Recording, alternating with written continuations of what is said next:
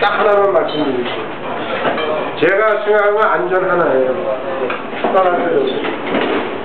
안전에 조금이라도 모자란 부분이 있으면 과감하게 저는 실천을 안 했습니다.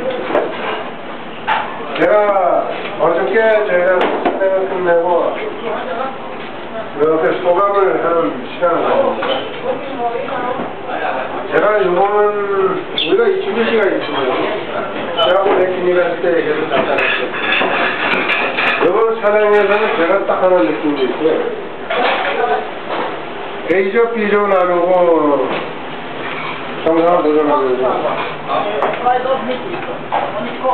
한, 그, 한 5분, 10분 사이 앞서서 저희 하산할 때 정상을 끝내면서 그 30대 중반 되는 여자가 이제 스님하고 떨어져 죽었어요. 살미가 날르고.